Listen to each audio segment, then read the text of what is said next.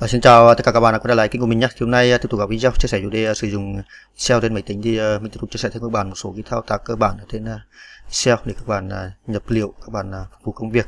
À, đặc biệt là dành cho các bạn mới sử dụng Excel lần đầu, các bạn có thêm thông tin các bạn tham khảo nhé. Rồi thì trên máy của mình thì mình đang sử dụng cái phiên bản Excel 2016 các bạn nhé.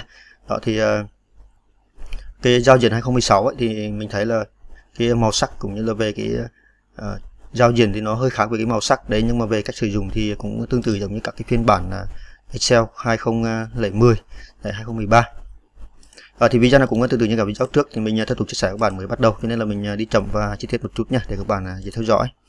Đó thì trên máy của mình thì đang sử dụng phiên bản Excel 2016 các bạn nhé ở đây cái biểu tượng có hình con sẽ đang mở ra màu xanh là cây ở đây nhé à, chúng ta sẽ kích đúp chuột trái vào à, kích chuột trái hai lần liên tiếp chúng ta mở lên là các bạn là kích vào cái biểu tượng ô vuông nhỏ ở giữa này này chúng ta phóng to lên. Rồi thì uh, trên Excel các bạn để ý là uh, trong quá trình chúng ta sử dụng ấy, thì các cái hàng các cái cột thì được ký hiệu theo chữ cái viết hoa nhá ví dụ cột A này cột B cột C cột D. Đó cứ tăng dần theo sang phía bên phải này. À, còn hàng thì sẽ à, ký hiệu theo số là hàng số 1 hàng số 2 hàng số 3 số 4 số 5 là tăng dần lên. Đó, thì trên Excel thì chủ yếu là các bạn à, sử dụng các bạn kẻ bảng nhập liệu và chúng ta tính toán. Ví dụ như là à, tính toán tiền lương tiền phụ cấp à, tính toán số ngày giờ đấy, rồi tính toán thời gian làm tăng ca chẳng hạn đó hoặc là số lượng hàng hóa à, bán đi nhập vào vân vân. Đó thì bây giờ để kẻ bảng đến Excel thì à, khá đơn giản thôi. Đó, vì Excel là chuyên để chúng ta kẻ bảng và nhập liệu à, tính toán theo các cái hàm ở trên Excel các bạn nhé. Đó thì bây giờ để kẻ bảng thì các bạn sẽ kích chuột vào cái ô ví dụ như ở đây mình sẽ kích vào cái ô bất kỳ chẳng hạn là ô cột B và ở hàng thứ tư. Đó ở đây thì ờ, chúng ta sẽ kích đục kích chuột trái vào đây. Các bạn là nhấn chuột trái các bạn kéo sang phải nhá. Đó và chúng ta kéo xuống. Thì chúng ta bôi đen cái khu vực chúng ta cần ờ, kẻ bảng. Còn khu vực nào các bạn không bôi đen thì chúng ta sẽ không kẻ bảng được nhá. Đó, thì sau khi chúng ta bôi đen cái khu vực này thì các bạn à, vào lại home. Đấy, các bạn kích vào cái chỗ cái cái biểu tượng có cái hình hình vuông nhất ở đây. Ở phía bên có một cái cái mũi tên màu đen nhỏ các bạn kích vào đây. Đó, phía phía bên phải nhé đó kích vào một bên cái mũi tên màu đen. Các bạn kéo chuột xuống thì chúng ta sẽ chọn một cái dòng là L border có cái chữ là ALL đó. Đó mình tạm thời đọc như thế nhá. Ở đây có cái biểu tượng hình à, hình vuông này và dấu còng nét lên là giữa các bạn kích vào đây. Đó thì lúc này các bạn sẽ có uh, một cái bảng thế này nó cũng giống như tên guột và khi các bạn nhập liệu thông tin vào đây thì chúng ta sẽ nhập giống như ở bảng ở tên guột thôi đó, những thông tin nào mà nó không giống nhau thì các bạn à, chúng ta gõ vào. Những thông tin nào mà giống nhau ấy, thì các bạn có thể copy và dán. Đó, chúng ta có thể là copy một lần nhưng mà dán nhiều lần. Đó, tương tự giống như tên cuột các bạn nhé. Đó thì ví dụ như đây mình ghi là số thứ tự chẳng hạn này.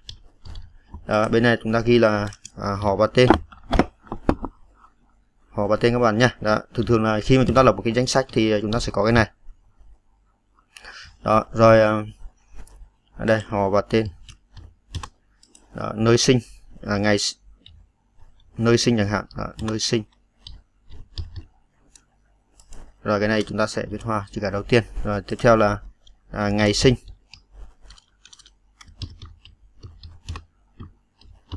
Đó rồi tiếp theo cái ô tiếp theo là à, chúng ta ví dụ như là à, đăng ký dự thi. À, đăng ký dự thi. À, mình lập một cái danh sách à, về đăng ký dự dự thi à, chứng chỉ tin học chẳng hạn. Đăng ký à, dự thi. Đó, dự thi. Rồi chúng ta ghi là chứng chỉ tin học. Đó. thì cái chứng chỉ tin học này thì uh, các bạn thấy rằng là chứng chỉ tin học nha. Đó thì cái cái phần mà cái phần mà chứng chỉ tin học này ấy, thì uh, hoặc là dự thi đi. À, dự thi chứng chỉ tin học. Đó, đăng ký dự thi. Cái này mình xóa đi nha đăng ký dự thi là được rồi đó thì cái phần mà dự thi này ấy, thì các bạn thấy rằng là nó cái dòng này nó bị giãn ra sang cái cột F nó bị giảm ra cột cơ này này. Đó thì các bạn sẽ có hai cách để chúng ta sửa. Đó là các bạn để con trỏ chuột lên phía trên. Nó có dấu còng màu đen thì các bạn nhấn chuột trái các bạn kéo sang phải này. Đó để cho cái phần này nó à, cái cột này nó lớn lên và chúng ta sẽ ghi được cái dòng này luôn. À, cách thứ hai là các bạn sẽ cho xuống dòng nhé cho đăng ký rồi phần dự thi này xuống à, xuống xuống dòng nhưng mà ở phần ở trong một ô. Đó thì các bạn nhìn lên phía trên chúng ta sẽ kích chuột vào cái phần đăng ký này các bạn để chúng ta đang phần sau đăng ký nhấn chuột trái vào. Như thế này. Đó. Và các bạn nhấn cái phím Alt nhé bấm cái phím Alt và phím Enter trên bàn phím. Các bạn nhấn đồng thời nhé phím Alt và phím Enter trên bàn phím. Đó thì lúc này là cái phần à, đăng ký phần dự thi này nó đã uh, di chuyển xuống hàng. Thì đây các bạn sẽ kéo xuống một chút này. Đây đó chúng ta kích vào. Để các bạn thấy rằng là nó đã đẩy xuống dưới này. Đó, phần bên này chúng ta sẽ ghi là ghi chú chẳng hạn ghi chú đó, đó là cái cách mà các bạn xuống hàng ở trên Excel nhé còn trên Word thì chúng ta xuống hàng bằng cách là bấm Enter là được. Còn trên Excel thì nó phức tạp hơn một chút. Các bạn nhấn cái phím Alt và Enter. Đó. Rồi số thứ tự cái phần này thì chúng ta sẽ canh ờ, chúng ta sẽ canh giữa này. Rồi.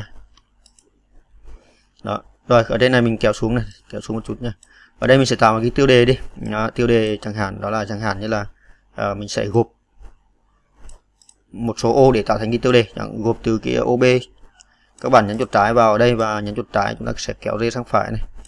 Đó, chúng ta gộp từ cái OB cho đến cái cột B cho đến là cột Y nhá. Đấy chúng ta bôi đen từ à, bên trái sang bên phải. Thế này. Đó thì sau khi bôi đen thì chúng ta sẽ gộp cái này lại thành một ô. Các bạn vào lại home này và kích chuột vào cái mục là Maggie Center. Đó thì một ô. Ở đây mình mình sẽ đánh là à, danh sách thường thường là tiêu đề chúng ta hay viết hoa các bạn nhé. Danh sách à, đăng ký à, dự thi. À, chẳng hạn như vậy dự thi. Danh sách đăng ký dự thi. Rồi thì sau khi có cái này thì chúng ta sẽ à, chọn phông chữ. Đó, ta sẽ chọn phông chữ cái tiêu đề này chẳng hạn. Đó thì các bạn vào lại home này vào phần à, các bạn kích chuột vào đây này. Các bạn đánh vào chữ TIM đi. Đó thì nó sẽ ra cái dòng thang Roman. Và lúc này các bạn chỉ cần à, bấm cái phím Enter ở trên bàn phím để chúng ta thay đổi cái phông chữ nha. Đó. Danh sách đăng ký dự thi. À, về cái cỡ thì ờ, kích cỡ chữ thì chúng ta thường thường tiêu đề thì các bạn hay chọn 14 hoặc là 16 nha tùy các bạn nha. Đấy thì ở đây mình lấy 14 đi. Kích vào đây chúng ta chọn 14 này. Cái này có thể là in đậm. Rồi xong cái phần danh sách đăng ký dự thi. Đó. tiếp theo là sang cái phần uh, lưu. Đó thì ví dụ như trước khi các bạn nhập các bạn làm ờ, sau khi các bạn tạo một cái bảng tính Excel đấy các bạn điền một số thông tin vào ví dụ như sau 5 phút hoặc là 10 phút thì các bạn cần phải lưu ở trên máy tính nha. Tránh trường hợp là à, mất điện đột ngột mà chúng ta chưa lưu ấy thì các cái thông tin chúng ta làm ở đây thì đều bị mất hết này. và sau đấy chúng ta phải làm lại thì à, cũng tốn khá nhiều thời gian. Đó nên bây giờ chúng ta sẽ lưu thì các bạn sẽ vào lại file này. Đó và chúng ta sẽ chọn vào cái dòng là save as nhá save as à, thường thường là chúng ta thay hay lưu ở cái mục này có chữ as đằng sau. Đó rồi tiếp theo các bạn kích vào cái mục GPC ở đến Windows 10 nha đó thì sau khi vào đây thì ờ, các bạn sẽ kéo cái thanh tuyển này lên xuống này. Đó, chúng ta sẽ có ba ổ đĩa là CDE đó, CDE thì thường thường chúng ta sẽ lưu trong ổ D hoặc là ổ E nhé còn ổ C này là, là chứa hệ điều hành cho nên chúng ta à, theo mình là các bạn không nên lưu trong ổ đĩa C bởi vì ờ, chúng ta thao tác trong ổ đĩa C nhiều lần thì có thể gây lỗi máy nhá. Đó, chúng ta sẽ lưu trong ổ D hoặc là ổ E thì ổ D và ổ E thì các bạn chọn ổ nào thì chúng ta sẽ kích chuột vào ổ đấy nhá. Ví dụ như là mình lưu trong ổ D đi mình kích vào ổ D này. Đó rồi.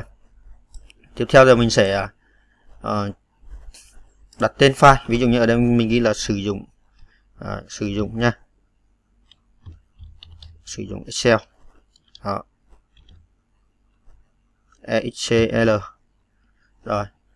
Sử dụng Excel. Thì cái phần mà các bạn đặt tên file này các bạn có thể là đặt uh, có dấu hoặc không dấu cũng được nha. Hoặc là các bạn có thể viết hoa hoặc viết thường đều được. Đấy nhưng mà giữa các cái từ này các bạn đặt một cái dấu gạch ngang này để cái file này sau này hạn chế bị lỗi nha. Đó, sử dụng Excel sau đây các bạn nhấn vào Save. Đó như vậy là cái file lúc này chúng ta tạo ra thì đã được lưu trên máy tính lưu vào trong ổ đĩa D và lúc này các bạn quan sát ở lên phía trên cùng của file Excel ấy, thì chúng ta sẽ có cái tên file đây trên này. Đó, sử dụng Excel đây. Và sau này các bạn mở cái ổ đĩa ra thì chúng ta sẽ tìm đúng cái tên này để chúng ta mở lên. Rồi cái phần sheet ấy, rồi sau khi các bạn tạo xong cái file này rồi thì các bạn có thể tạo thêm một cái sheet nữa. Ở đây thì mình đang uh, thao tác ở trên một cái sheet 1 này. Đó sheet 1 nha. Bây giờ mình muốn tạo thêm một cái uh, sheet 2. Đó, sheet 2 thì các bạn kích vào cái dấu còng này này. Đó, thì cái sheet 2 này thì uh, à, nó là hoàn toàn trống, tức là một cái sheet mới. Đó và chúng ta sẽ tiếp tục điền thông các cái kẻ các cái bảng và điền thông tin vào cái sheet 2 này. Ở trong trường hợp chúng ta cần thêm một cái dữ liệu công việc nữa. Đó và tương tự như vậy, chúng ta thật tạo thêm sheet 3 thì các bạn à, bấm vào dấu còng này, chúng ta sẽ có sheet 3 đấy như vậy là một cái file mà các bạn lưu trên máy tính ấy, chẳng hạn như một cái file sử dụng Excel này thì nó sẽ có tạo ra được nhiều cái sheet. Cũng giống như là một cái cuộn vở các bạn nhé đấy cái sử dụng Excel này giống như một cuộn vở. Và trong cái cuộn vở đó thì nó sẽ có nhiều trang. Trang thứ nhất là sheet 1 à, trang thứ hai là sheet 2 à, trang thứ ba là sheet 3 tương tự như vậy các bạn có thể tạo thêm. Và trong quá trình các bạn tạo như thế thì à, sẽ rất là thuận tiện. Thay vì trường hợp các bạn cứ lưu liên tục các cái file ví dụ như file sử dụng Excel 1 sử dụng Excel 2 sử dụng Excel 3 như vậy thì à, rất là rườm ra. Như vậy chúng ta chỉ cần tạo một cái file sử dụng Excel như thế này thì ở trong đó sẽ có rất là nhiều cái sheet, rất là nhiều tài liệu cho một cái trang như thế này, rất là thuận tiện nha. Rồi, đổi tên. Tại ví dụ như sheet 1 này các bạn không không để sheet 1 thì ví dụ như là mình sẽ ghi là sử dụng Excel 1 chẳng hạn, đó thì chúng ta sẽ ghi là, các bạn kích chuột phải vào đây này. Cái sheet 1 này nha. các bạn kích chuột phải vào sheet 1 này. Chúng ta chọn vào rename. Đó, thì rename thì sau khi rename xong thì Excel phải cho chúng ta đổi tên. Ví dụ như ta sẽ xóa cái này đi. Chúng ta ghi vào là à, sử dụng. À, mình ghi là sử dụng đây. À, Excel Excel. Đó, Excel. Rồi tiếp theo bên này. Là mình à, đặt tên khác thì chúng ta kích vào sheet 2 chúng ta cũng kích chuột phải lên chọn rename để đặt cái file sheet 2 này. Ta ghi là sử dụng. Các bạn có thể để gạch ngang hay giữa nhá. Nó sử dụng à, Excel. À, uh, CE rồi một đó, sử dụng Excel rồi bây giờ sang một bây giờ bên này cũng vậy. Ba thì mình có thể đặt là hai. Đó, tương tự như vậy nhá. Ta xóa cái này đi chúng ta ghi vào là sử dụng Excel. Đó, hai. Đấy, như vậy là một trang như vậy các bạn có thể tạo ra một cái à, thông tin. Đó ví dụ như là à, tùy từng cái file tùy từng cái sheet này các bạn ví dụ như là sheet đầu tiên thì các bạn à, ghi là đăng ký dự thi thì mình có thể đặt tên là danh sách dự thi. Và cái sheet 2 thì à, ghi về à, có nội dung là hàng hóa thì các bạn ghi là uh, danh sách hàng hóa đó cho nó khác nhé. Đấy, vân vân đó là cái cách mà chúng ta sẽ tạo các cái sheet ở trên này. Đó thì bây giờ mình sẽ vào lại cái à, cái sheet 1 này. Đó cái sheet 1 này thì mình ghi ở đây là danh sách đăng ký dự thi. Đó, thì uh, chia sẻ thêm các bạn đó là chúng ta sẽ ví dụ như là số thứ tự thì ở đây các bạn đánh số 1 này. Đó số 2 các bạn có thể đánh lần lượt 1 2 3 4 5 6 vân vân. Ở đây để nhanh thì các bạn sẽ bôi đen cả ô số 1 số 2 này này. Đó và chúng ta để con trỏ chuột vào cái góc dưới cùng bên phải này. Khi mà nó có hiện ra cái dấu còng màu đen đấy các bạn nhấn chuột trái và kéo xuống. Thì Excel sẽ tự động điền cho chúng ta luôn nha. Đấy, khá là nhanh. Cái này cái kênh giữa. Rồi họ và tên thì uh, chúng ta sẽ gõ vào. Đó cái phần này thì chúng ta sẽ uh, bôi đen. Đấy, bôi đen cái phần này. Là chúng ta cho in đậm này. Rồi cái này thì uh, ở đây các bạn để ý là chúng ta có hai cái ô này nhá hai cái hai cái cột h và cột cột y này bị dư ra. Rồi thì chúng ta sẽ xóa đi. Đó thì đầu tiên là chúng ta để con trỏ chuột vào ô đầu tiên này. Chúng ta nhấn chuột trái và kéo lên sang phải kéo xuống chúng ta bôi đen để chúng ta xóa đi nhá. Rồi sau khi bôi đen thì các bạn cái chuột phải lên. Rồi và chúng ta chọn vào cái dòng delete D E L E T E để chúng ta xóa. Kích vào đây. Rồi, tiếp theo kích vào OK. Đó như vậy là cái phần này bị xóa đi. Và chẳng hạn như ở đây chúng ta cũng có những cái ô như thế này. À, ví dụ như là ở họ và tên. Thì ở đây mình sẽ gõ vào đúng không? Chúng ta sẽ gõ vào thôi. Đó, thường thường tên thì không giống nhau. Cho nên khi chúng ta mà gõ tên ấy thì uh, chúng ta phải gõ. Đấy, phải gõ vào các bạn nhé. Đấy, Nguyễn Văn A. Rồi cái chữ A này thì nó hơi đánh nhạy sang cái cột D thì mình sẽ kéo dài cái này ra. Đấy, rồi. Nguyễn. À, Văn B. Đó.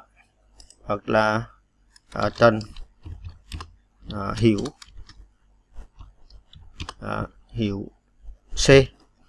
Đó các bạn cứ đặt thông tin vào thôi nhá. Rồi ngày sinh đó ngày sinh thì chúng ta cứ gõ bình thường. Đó cái ngày sinh ví dụ như là ngày à, à, 02 đó và các bạn đánh ghi dấu gạch chéo đến bàn phím nhá dấu gạch chéo đến bàn phím thì các bạn sẽ à, có kèm theo cái cái dấu hỏi. Thường thường à, có phía trên có cái dấu hỏi đó. Các bạn đánh vào ha dấu gạch chéo này. À, 02 tháng à, 5 chẳng hạn. Đó 5 2006 à, chẳng hạn. Ví dụ như thế. Đấy thì cái này các bạn cứ nhập vào và Excel nó sẽ tự động lưu lại cái cái dữ liệu này nha. Rồi nguyện văn B. Chúng ta ví dụ như là ngày à, 12 tháng 9 đó gạch chéo. Cứ một cái số liệu như vậy chúng ta gạch chéo ra 2002 đó rồi. Ví dụ như ngày 08 tháng 7 năm 2001 đó. À, cái này là nơi sinh các bạn nhé nơi sinh. Là mình đánh nhầm sang bên này.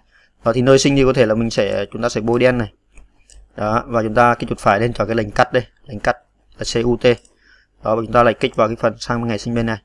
Đó, kích chuột vào cái ô ngày sinh bên này để chúng ta thao tác lại nha kích chuột phải lên và chúng ta toàn lệnh bắt là cắt và dán vào đây. Đó thì cái bên này thì nó sẽ bị xóa đi này. Rồi đó như vậy chúng ta kéo giãn ra nhá. Ở nơi sinh thì ở đây chúng ta gõ vào bình thường. Đó ví dụ như là uh, đồng nai. Đó đồng nai rồi. Bình phước. Thông tin ở đây mình chỉ lấy làm ví dụ nha. Rồi. Đấy, Hải Dương. Đó. Rồi đăng ký dự thi chúng ta gọi thông tin vào đây. Rồi ở đây thì uh, ví dụ như là ở đây thì chúng ta sẽ uh, mình sẽ xóa cái ô số 4 này đi nha. Mình sẽ lấy ba ba ba cái hàng thôi. Một đến ba là được rồi. Đó còn các bạn có những cái bảng lớn hơn thì các bạn cũng làm tương tự nha. Đấy, mình sẽ bôi đen cái phần ờ, từ cái hàng số 4 này đến hàng số 11 đó và cái chuột phải lên để chúng ta xóa đi cái chuột phải lên cho delete. Nhấn vào ok. Rồi ở đây thì ờ, cái phần này nó bị mất các bạn này được chỗ này nó bị mất đi thì chúng ta lại bôi đen lại cái này. Đó và vào lại cái phần biểu tượng ô đây này. À, chọn lại air border. Đó, để tạo lại cái bảng. Đó thì sau khi xong cái phần này thì mình sẽ tăng cái kích thước của hàng lên nhá các bạn sẽ bôi đen cả cái bảng luôn. Đấy và chúng ta vào home này đó các bạn nhìn sang bên phải nha chúng ta vào cái mục format này. Các bạn chọn round 2 là thay đổi kích thước hàng. Còn nếu mà column width thì chúng ta chọn kích thước cột. Ở đây mình sẽ vào round 2 đó thì đây mình có thể đẩy đánh lên các bạn đánh số ở trên bàn phím nha. Ví dụ như 15 20 hoặc là 30 chẳng hạn. Đó ở đây mình sẽ lấy 25 chẳng hạn này. rồi nhấn vào ok. Đó thì cái hàng nó sẽ giãn ra. Kích thước hàng giãn ra. Rồi bôi đen lần nữa. À, định dạng chữ Times Roman nha. Các bạn vào lại hôm này vào lại cái ô này chúng ta đánh vào chữ TIM này. Cho nó nhanh nhá và nhấn phím Enter lên bàn phím. Đó tham Times Roman. À, cờ trừ thì chúng ta sẽ lấy 13 ờ, hoặc là 14 ở đây mình lấy 14 này. Đó. Như vậy là khi các bạn ờ, lấy 14 thì ờ, cái phần chữ này nó lớn cho nên nó bị che khuất. Thì chúng ta cứ kéo giãn ra. Đó hoặc là các bạn cho xuống dòng nhá. Giống như lúc nãy chia sẻ các bạn. Đây như kiểu bên này. Đó rồi phần đăng ký dự thi thì ở đây cũng vậy. Chúng ta phải kéo xuống để cái ô này nó lớn lên này. Và khi các bạn làm ấy thì ờ, ở đây thì nó sẽ có cái phần các bạn để để ý là cái phần số thứ tự này họ và tên chẳng hạn hoặc là nơi sinh thì nó nằm ở dưới đáy nha. Cho nên chúng ta phải cho nằm ở chính giữa ô. Đó thì chúng ta sẽ bôi đen cả bảng chúng ta định dạng lại bảng đó, bôi đen cả bảng nha. Rồi cái chuột phải lên. Đó, chúng ta chọn vào cái dòng là à, format cell nha. Có chữ cell đằng sau CLL đó format cell này. À, tiếp đến các bạn à, kích vào cái mục là element mình tạm thời đọc như thế nha. Thì ở đây các bạn sẽ chọn hai cái ô ô đầu tiên các bạn kích vào đây này. Chọn dòng center tức là chọn chính giữa đó. Rồi ô dưới này các bạn cũng chọn center. Đó. Đây chúng ta sẽ chọn center này. Vậy là trên center và dưới center thì các bạn bấm vào ok để chúng ta áp dụng cài đặt. Đó thì lúc này là à, các cái chữ các thông tin ở đây thì đã chuyển ra chính giữa ô và nó khá là đẹp. Cái này thao tác khá đơn giản các bạn nhé nhưng mà mình nghĩ là cũng khá quan trọng rồi thì ờ, vừa rồi là mình vừa chia sẻ các bạn một số cái thao tác cơ bản ở trên ờ, Excel để các bạn ờ, mới sử dụng Excel trên máy tính các bạn có thông tin các bạn tham khảo để phục vụ công việc nhé Rồi thì mình xin dừng video tại đây nhé. Cảm ơn tất cả các bạn đã theo dõi video và chúc tất cả các bạn sử dụng Excel trên máy tính thành công. Và sau video này bạn nào có vấn đề gì các bạn cần chia sẻ thì các bạn tiếp tục comment ở dưới nhé. Mình sẽ trao đổi với tất cả các bạn. À, nếu các bạn thấy video của mình hay và ý nghĩa thì các bạn nhớ like và chia sẻ cho tất cả mọi người cùng xem nhé và đừng quên đăng ký kênh để ủng hộ mình nhé để mình có động lực làm thêm cả video khác chia sẻ tất cả các bạn nhé rồi xin chào à, tất cả các bạn.